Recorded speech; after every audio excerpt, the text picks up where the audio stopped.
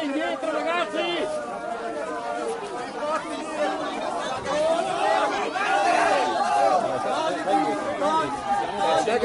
Che problema c'è?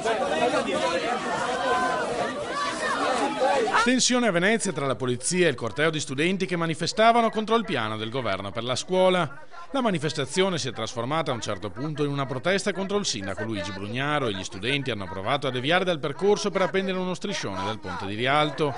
La polizia li ha fermati impedendo loro di passare mentre nella fantasiosa ricostruzione dei manifestanti ci sarebbero state delle cariche nei loro confronti. Vergogna!